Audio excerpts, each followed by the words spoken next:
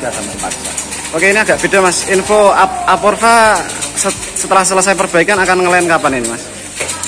Yang pasti Aporva setelah kembali dari karoseri mungkin nanti langsung masuk garasi pusat. Iya. Eh, lanjut uji kir karena sudah 14 bulan dan jalan. Hmm. Terus sama untuk pengecekan lain-lainnya kalau sudah uh, ready semua mungkin langsung ngelem. Oh gitu.